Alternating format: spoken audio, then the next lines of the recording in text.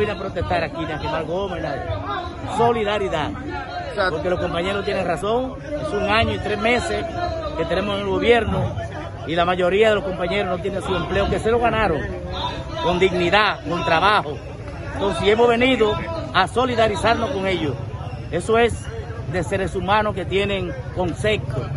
Yo no soy político per se, yo soy un ser humano muy corriente como ellos, que se fajó también para ganar la sanaduría y estamos aquí en eso, defendiéndolo a ellos y luchando por ellos, de la mano. O sea, que te vamos de la mano del pueblo, así mismo con los asuntos del apagón y la cosa. Todo el tiempo. Ok. ¿Quién era el que hacía la marcha aquí por los apagones? Mismo. Y me la boicoteaban. Ni la prensa.